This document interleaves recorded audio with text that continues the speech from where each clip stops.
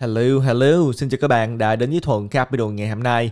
Hôm nay đó là ngày thứ tư tại Hoa Kỳ, ngày 23 tháng 6 năm 2021. Bây giờ là khoảng 7 giờ tối giờ Cali, có nghĩa là Việt Nam đã là ngày 24 tây tháng 6 rồi. Thì hôm nay đó cũng có một số những thông tin nổi bật thường muốn tiếp tục chia sẻ với các bạn. Nhưng mà trước hết chúng ta hãy nhìn vào tình hình của giá cả. Thì thật ra mà nói giá cả thì cũng tương tự như là ngày hôm qua.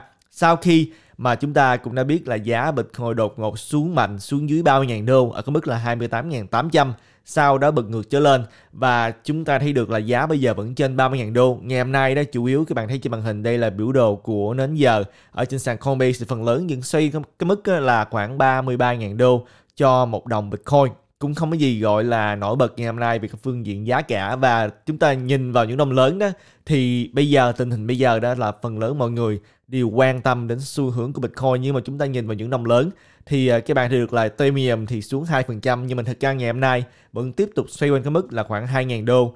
Chúng ta thấy được là có những đồng mà cũng tăng trưởng mạnh, trong đó chúng ta có đồng à, BNB, đồng Binance uh, tăng là 4,5%, chúng ta có đồng Dogecoin thì tăng tới 17% và đồng XRP thì tăng 8,5%, còn lại thì xuống nhưng mà không đáng kể. Như là chúng ta thì được Polkadot thì xuống 2,5%, Uniswap uh, thì xuống 0,5%. À, chúng ta thấy được là ngày hôm nay đó phần lớn thì thị trường về phương diện giá cả cũng không gì là quá nổi bật nhưng mà về phương diện tin tức đó, thì có một số điều thường muốn chia sẻ với các bạn trước hết một trong những người mà nổi tiếng có thể nhiều bạn cũng đã biết à, bây giờ tin tức thì lan tỏa khắp nơi. Đó chính là tin tức liên quan tới nhà sáng lập phần mềm diệt virus John McAfee đã chết sau khi treo cổ tự tử trong tù. Thì à, để hương chia sẻ thêm với các bạn tại vì nhiều bạn à, cũng à, hỏi về cái thông tin này. Thì như là bạn nào mà sử dụng cái máy vi tính mà sử dụng PC Windows đó thì cũng đã biết là chúng ta có một cái phần mềm uh, diệt virus gọi là McAfee Antivirus. Thì John McAfee là người mà đứng sau lưng uh, để mà sáng lập ra cái phần mềm đó. Trước đây đã nhiều năm rồi cho McAfee ờ, không còn là một trong những người mà dẫn đầu của công ty McAfee nữa nhưng mà cái tên thì vẫn còn. Thì các bạn thấy được là John McAfee năm 2017 đó thì đã bắt đầu nổi lên trong thị trường crypto. Trước đó thì không nghe nói tới nhiều nhưng mà từ năm 2017 đó thì cho McAfee đã bắt đầu đứng lên. À, và giống như là bây giờ chúng ta có những người như là chúng ta thấy là Michael Saylor à, hay là chúng ta có những người mà có sức ảnh hưởng như là Elon Musk thì năm 2017 chúng ta không có Elon Musk, chúng ta không có Michael Saylor nhưng mà chúng ta có John McAfee là một những người mà cũng đi khắp nơi để mà truyền bá về Bitcoin, về crypto. Nhưng mà sau đó thì John McAfee cũng dính vào một cái à, số vụ tai tiếng liên quan tới một số những cái dự án mà John McAfee à, đã giới thiệu nhưng mà cũng không có tốt và thời điểm đó đó John McAfee được rất nhiều người theo dõi và thậm chí chúng ta nhìn vào cái à, Twitter của John McAfee bây giờ cũng có cả triệu người theo dõi. Và lúc đó đó thì à, hàng tháng thì à, Joy McAfee đã có những cái à, tài liệu như là Coin the Month, có nghĩa là cái đồng mà ông ta quan tâm đến trong tháng đó, rồi chúng ta có coin of the week, nghĩa là trong tuần đó ông ta thích đồng nào. Và thậm chí chúng ta có coin of the day, có nghĩa là trong ngày hôm đó ông ta thích đồng nào thì mỗi lần mà cho McAfee thuyết đồng nào đó thì đồng đó lại tăng trưởng. Và chúng ta thấy cái hiệu ứng đó chính là pump and dump đến từ ờ, cái thuyết của John McAfee. Thì sức ảnh hưởng cũng rất là lớn. Có thể nói là năm 2017 năm 2018 đó John McAfee cũng đã đưa rất nhiều những cái lời phát biểu à, mà khiến cho có nhiều cái sự dư luận à, liên quan tới John McAfee. Nhưng mà dù sao đi nữa cái à, sức ảnh hưởng của John McAfee đó của năm 2017 năm 2018 thì cũng không thể phủ nhận được. Và đây là một người mà rất nhiều người ở trong thị crypto này đã biết đến. Và hôm nay đó thì chúng ta nhận được thông tin. Đáng buồn đó chính là John McAfee à, đã dựa theo thông tin. Bây giờ nói là tự tử trong tù ở nước của Tây Ban Nha. Thì có thể nhiều bạn muốn biết là thứ nhất tại sao John McAfee lại ở trong tù ở Tây Ban Nha? Và thứ nhì tin tức này có ảnh hưởng như thế nào? Thì để thường chia sẻ cái à, thứ nhì trước với các bạn cái câu hỏi thứ nhì mà nhiều bạn uh, quan tâm. Thì thực ra mà nói là John McAfee đây chỉ là một thông tin mà thôi cũng không có sức ảnh hưởng gì đến giá cả. Nhưng mà chúng ta nhìn vào một cái xu hướng khác đó thì John McAfee thực sự mà nói trong tay bây giờ còn lưu trữ bao nhiêu Bitcoin bao nhiêu crypto chúng ta cũng không có biết. Và ông ta có để lại cái khóa cá nhân hay không chúng ta cũng không biết. Lỡ như mà John McAfee còn lưu trữ một số lượng Ethereum một số lượng Bitcoin một số lượng như đồng khác mà không ai biết khóa cá nhân thì coi như những đồng đó sẽ không còn được uh, lưu thông trên thị trường nữa. Về cái phương diện là đồng nữa thì đương nhiên là cái số đồng đó sẽ coi như là không có còn. Uh, trong cái uh, số lượng đồng mà chúng ta có thể quan tâm đến di chuyển trên những sàn giao dịch nữa nhưng mà về cái câu hỏi là tại sao mà John McAfee lại ở trong tù ở Tây Ban Nha, thì John McAfee là một người đó mà có thể nói là đã không có ờ, muốn đóng thuế. Thường nhớ là từ năm 2016 tới năm 2018 cho McAfee là một trong người mà đứng lên chống lại là nói chính phủ đó thu thuế là một điều mà ông ta không chấp nhận và ông ta thà chết còn hơn là đóng thuế và sau đó cho McAfee đó đã dùng cái ờ, tàu cá nhân của mình để mà đi khắp nơi. Và chính phủ cũng đã được theo và cuối cùng, ông ta đã bị bắt ở Tây Ban Nha. Và thường nhớ là bị bắt hồi tháng 10 của năm ngoái, năm 2020 thì mãi cho đến là ngày hôm qua chúng ta mới nhận được thông tin là chính phủ Tây Ban Nha thì cũng đã ký giấy tờ và tòa án của Hoa Kỳ cũng đã ký giấy tờ để mà dẫn độ cho McAfee trở về Hoa Kỳ, tại vì cho McAfee là người của nước Mỹ để mà xử lý. Thì à, chúng ta được thông tin một ngày sau đó là John McAfee đã chết ở trong tù ở Tây Ban Nha. Và cái chết của John McAfee bây giờ đó thì nhiều đài nói là treo cổ tự tử. Nhưng mà một trong cái dư luận mình thường muốn chia sẻ với các bạn, đương nhiên cái này cũng không liên quan nhiều đến thị trường crypto, nhưng mà nhiều bạn nó cũng à, khá là tò mò muốn biết về cái thông tin này. Thì à, John McAfee đó đã chia sẻ rất là nhiều cái thuyết trong cái thời gian là hai năm qua. À, từ năm 2019 á, thì các bạn thấy được đây là cái thông tin tháng 6 năm 2019 trên Twitter đó cho McAfee nói là đã thu thập được rất nhiều những cái bằng chứng liên quan đến những cái uh, quan chức chính phủ mà ăn hối lộ. Nếu như mà cho McAfee có vấn đề gì đó thì tổng cộng những cái chứng từ này đó để trong cái ổ cứng tổng cộng là 31 terabyte sẽ được chia sẻ với những cái uh, đài truyền hình cũng như là những cái uh, nhà báo thì ờ, các bạn thì được đây là cái tweet hồi tháng 6 năm 2019. Sau đó đó là tháng 11 năm 2019 cho McAfee nói là ông ta nhận được những cái tin đồn là chính phủ muốn làm cái gì đó với ông ta. À, thì cho McAfee nói nếu như mà một ngày nào đó mà cho McAfee qua đời đó thì ông ta chắc chắn không phải là tự tử. Đương nhiên đây chỉ là cái tweet của John McAfee mà thôi. Thì sau đó tháng 10 năm 2020 lúc này cho McAfee đã ở trong tù ở Tây Ban Nha rồi thì cho McAfee nói là cho McAfee uh, sẽ không có uh, tự tử cũng như là sẽ không có tự treo cổ đương nhiên các bạn thì được đây là những cái thông tin ngoài lề không liên quan trực tiếp đến sự crypto nhưng mà có nhiều cái uh, thuyết âm mưu được chia sẻ liên quan tới cái chết của John McAfee có liên quan đến chính phủ vân vân nhưng mà chúng ta cũng sẽ không có nói về những điều này. Điều mà tôi muốn chia sẻ là một trong những người đã từng rất nổi tiếng trong thị trường crypto này. Là John McAfee thì à, đã qua đời ngày hôm nay, cũng là một trong những cái thông tin được chia sẻ rất nhiều trên Twitter, cho nên cũng muốn các bạn có thêm một số thông tin mà thôi. Chúng ta cũng sẽ không còn nói về những cái tài liệu liên quan tới John McAfee sự thật như thế nào. Tại vì thường nghĩ là chúng ta cũng sẽ không bao giờ biết sự thật liên quan tới vấn đề này. Sự thật, chúng ta biết là John McAfee đã qua đời nhưng mà trước khi mà chúng ta đi vào thêm chi tiết thì cũng như thường lệ tất cả chỉ vì mục đích thông tin và không được xem là lời khuyên đầu tư.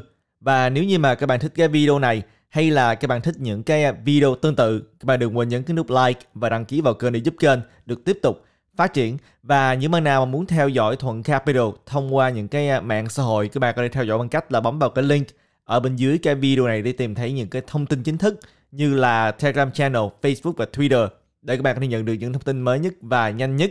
Và những bạn nào muốn tìm hiểu những ưu đãi dành riêng cho cộng đồng của Thuận Capital, các bạn có thể tìm hiểu bằng cách là bấm vào cái link bên dưới để tìm thấy những ưu đãi như là giảm 20% phí giao dịch khi mà tham gia vào sàn Binance hay là nhận được bonus lên tới 1.610 đô khi mà tham gia vào sàn margin nổi tiếng Bybit hay là mua bán không trực tiếp bên Việt Nam thông qua sàn Lineax vân vân. Những cái thông tin chính thức sẽ nằm ở bên dưới video này cũng như là ở phần cuối video Thuần sẽ giải thích thêm về những ưu đãi này. Chúng ta bây giờ hãy à, nhìn vào cái thông tin liên quan đến um, Ethereum đi. Thì trước hết ngày hôm qua có rất nhiều người đã đột ngột nhận ra đó là có rất nhiều Ethereum đang được à, thu mua và đặc biệt là chúng ta nói tới là Ethereum này có thể được thu mua bởi một con cá voi nào đó tại vì có người nhận ra được đó là có rất là nhiều những cái lệnh mua ở trên sàn uh, Bitfinex thì các bạn thấy được là tài liệu trên sàn Bitfinex có rất là nhiều những cái lệnh mua liên quan tới à, Ethereum và thậm chí những lệnh mua rất là lớn. Có thể nói được là có người nào đó muốn thu mua rất nhiều Ethereum, có thể nói là tới mấy chục triệu đô la như là các bạn thấy là cái buy war ở cái mức giá là 1840 đó, đã đặt lệnh là lên tới 66.000 Ethereum muốn được thu mua ở mức giá này. Thì à, người này là ai chúng ta cũng không biết. Bây giờ có nhiều tin đồn, có thể đây là bà Vitalik Buterin nhưng mà đương nhiên các bạn thấy được là chúng ta không biết được là người mà đứng sau lưng cái ờ, đợt thu mua Ethereum này là ai. Nhưng mà chúng ta chỉ biết được là có người đang muốn thu mua rất nhiều Ethereum. Thì nói từ Ethereum đó chúng ta thì được là Ethereum có hai cái cập nhật mà thường muốn chia sẻ với các bạn. Đầu tiên hết á thì ờ, chúng ta thì được là Ethereum London Hard Fork trong đó có cái ờ, đề xuất là EIP 1559 mà chúng ta đã nói tới rất nhiều. Tôi sẽ chia sẻ thêm với các bạn một lát nữa.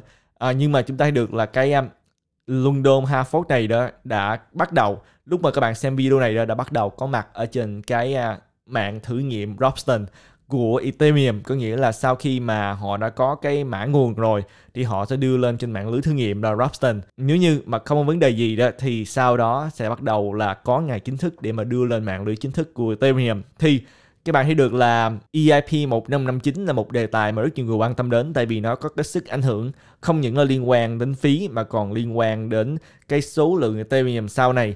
Tại vì cái sự khác biệt thay đổi đó, nhưng mà nào mà không có rành vì EIP 1559 này, thì hiện bây giờ các bạn sử dụng Ethereum là các bạn sử dụng khi mà các bạn uh, trả phí đó là thông qua một cái uh, cách như là đấu giá vậy đó các bạn trả phí càng cao thì cái giao dịch sẽ càng được uh, xử lý sớm hơn và nhanh hơn. Các bạn trả phí càng thấp thì sẽ được xử lý thấp hơn. Nhưng mà điều này uh, dẫn đến là mỗi lần mà mạng lưới tắt nghẽn đó thì mọi người đều đấu giá cái phí tăng lên rất là cao. Các bạn thấy được là những lúc mà có rất nhiều giao dịch cái phí nhiều khi lên tới là 50 60 đô la để mà di chuyển Ethereum cái phí nó quá cao. Thì bây giờ đó EIP 1559 này đề xuất này đó sẽ chia cái phí ra làm hai phần một phần gọi là phí căn bản hay là base fee một phần gọi là phụ phí. Cái phí căn bản này đó là sẽ không có đi theo cái phương cách là đấu giá. Cái phí căn bản này là sẽ dựa theo mạng lưới đang tắt nghẽn hay là đang không tắt nghẽn. Nếu như mạng lưới càng có nhiều giao dịch đó, cái phí căn bản này ngày sẽ càng được tăng lên. Nhưng mà cái phí căn bản này đó những cái thợ đào sẽ không được nhận. Không giống như là bây giờ. Bây giờ đó những thợ đào là họ có thể nhận được cái phí mà người ta trả cộng với lại à, cái số Ethereum họ đào được. Cho nên bây giờ thợ đào nhận được cả hai. Nhưng mà sau khi mà có cập nhật EIP 1559 này trong cái phiên bản uh, Ethereum London Hard Fork thì thợ đào chỉ có thể nhận được phụ phí mà thôi. Nhưng mà cái phụ phí này đó là tùy theo người mà thích uh, thêm hay là không thích thêm. Nghĩa là cái này đó là không có bắt buộc. Base fee phí căn bản đó là cần phải có để mà di chuyển. Nhưng mà cái phí này sẽ tự động điều chỉnh chứ không phải là các bạn chọn lựa tùy theo tình hình mạng lưới và cái phụ phí là cái phí mà những cái thợ đào có thể nhận được. Thì các bạn thấy được là tôi nói tới đây, chúng ta cũng có thể hiểu ra được là cái cập nhật này sẽ không có tốt đối với thu nhập của những thợ đào. Thì tại sao lại như vậy? Thì ờ, có nhiều người nói là cái cập nhật EIP 1559 này sẽ giảm cái phí trên mạng lưới Ethereum, điều đó cũng không có đúng. Cái mà EIP 1559 này muốn làm đó chính là làm cho cái phí của Ethereum nó được một cái gọi là điều hòa hơn, không có tăng hay là giảm đột ngột cho nên mới có cái chế độ là cái phí căn bản tăng hay giảm tùy theo là mạng lưới lúc đó là tắt nghẽn hay là không tắt nghẽn thì chẩn đoán đó là những cái à, miner có thể là bị thất thoát thu nhập lên tới 20 tới 35% và đây là một cái cập nhật thông qua hard fork. Có nghĩa là là một cái phiên bản khác và cái phiên bản mới này đó là sẽ không có tương đồng được với những cái phiên bản cũ. Có nghĩa là trong cái trường hợp hard fork này đó, thì một những rủi ro khi mà cập nhật thông qua hard fork là các bạn cập nhật có thể dẫn đến là chuỗi có thể bị chia nếu như mà không có sự đồng thuận. Thì bây giờ có nhiều cái thông tin mà thường cảm thấy là đối với thuận, điều này đó, cái rủi ro phần trăm rất là thấp. Đó chính là những cái thợ đào, họ sẽ không có hài lòng đối với cái cập nhật EIP 1559 này. Tại vì chẩn đoán là cái thu nhập họ sẽ giảm từ 20 tới 35%. Đương nhiên họ sẽ có hài lòng thì họ sẽ cùng nhau để mà tấn công 50% mạng lưới của Ethereum.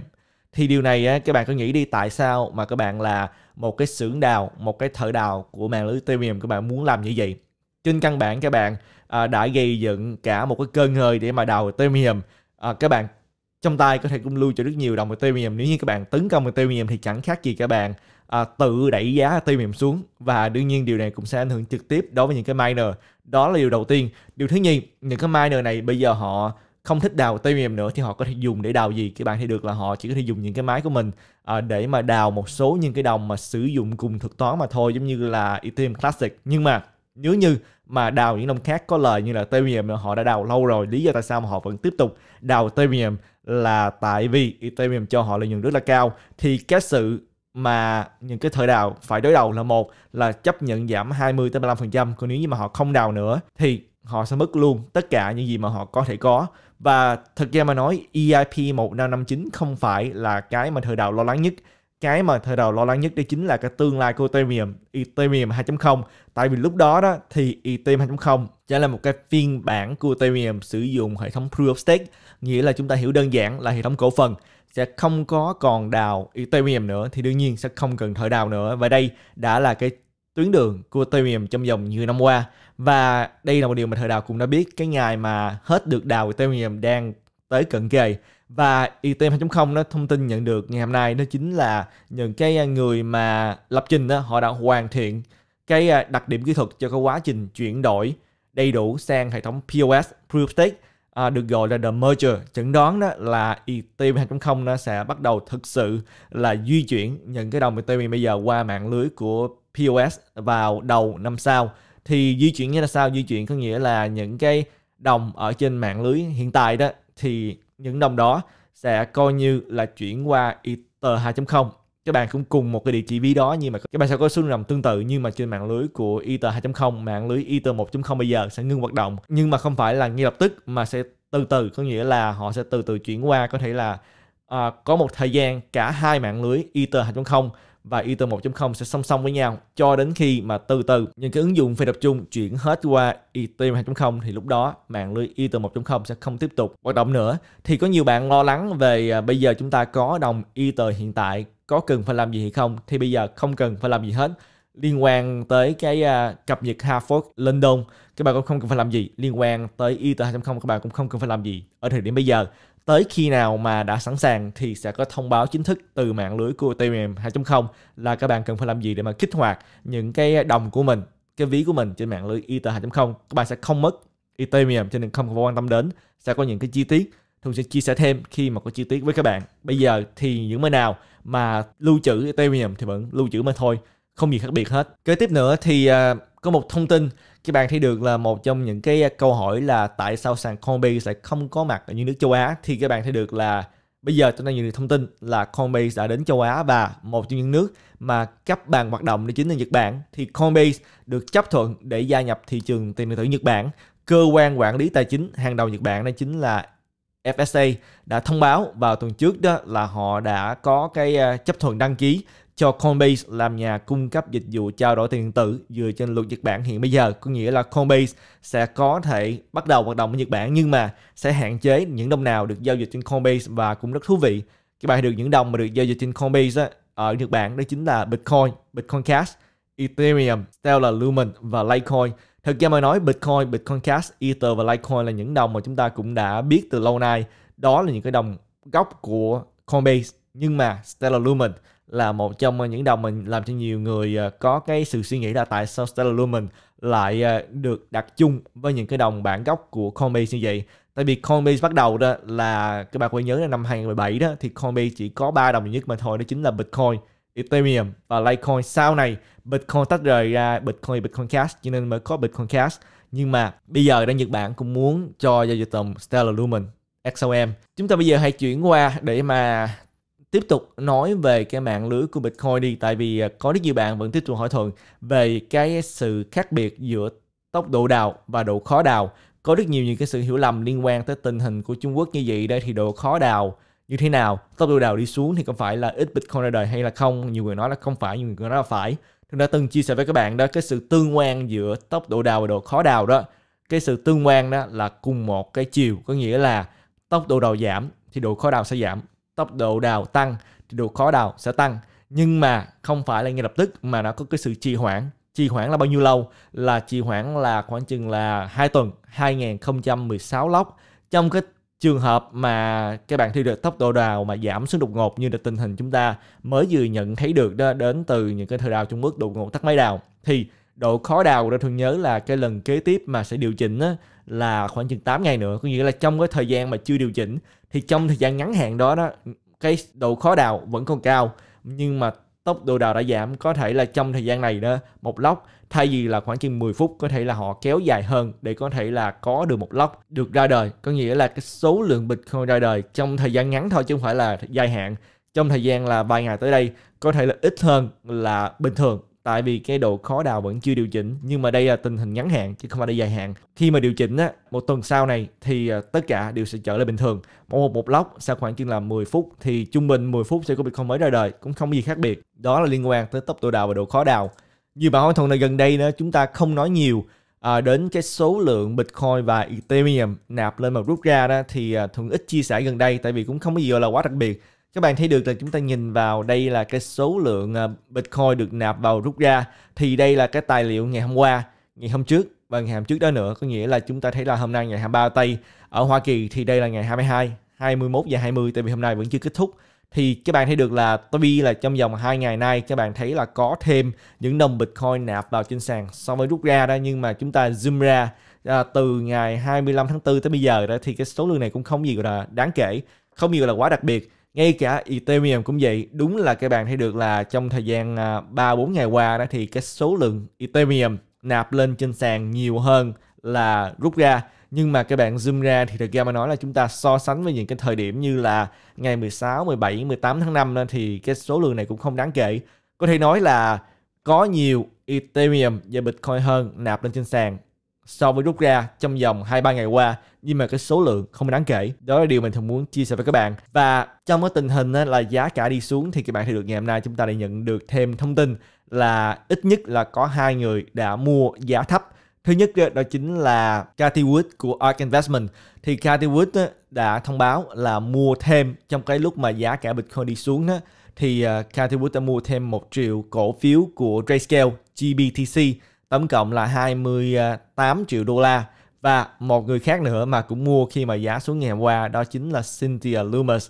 Cynthia Loomis là một trong ờ, những cái nghị sĩ bây giờ, thượng nghị sĩ mà lưu trữ Bitcoin và crypto và rất ủng hộ Bitcoin thì ờ, các bạn thì được là Cynthia Loomis thì không có nói là đã mua bao nhiêu nhưng mà trong cuộc phỏng vấn trên đài Fox á, thì Cynthia Loomis đã nói là không gì phải đáng lo hết á giá cả Bitcoin càng xuống thấp thì Cynthia Loomis lại càng thích tại vì có thể mua được cái thứ mình thích với cái giá thấp hơn và đây là tất cả những thông tin mà Thuận muốn mang đến cho các bạn trong cái video ngày hôm nay. Thuận hy vọng là các bạn nhận được nhiều giá trị trong video này. Và những bên nào mà quan tâm thì đây là những ưu đãi dành riêng cho cộng đồng Thuận Capital. Trong đó chúng ta có như là giảm 20% phí giao dịch khi mà tham gia vào sàn Binance, hay là những đôi bonus lên tới 1.610 đô thông qua sàn margin nổi tiếng Bybit, hay là mua bán câu trực tiếp bạn đồng Việt Nam thông qua sàn Alineax hay là chúng ta có thể tham khảo những sàn như là sàn à, LMT, sàn FTX, sàn Binance US. Đây là một sự lựa chọn cho những bạn nào mà thích giao dịch altcoin ở Hoa Kỳ hay là sàn Coinbase ứng dụng BlockFi đây là ứng dụng lending có lãi các bạn có thể nhận được lãi hàng tháng bằng cách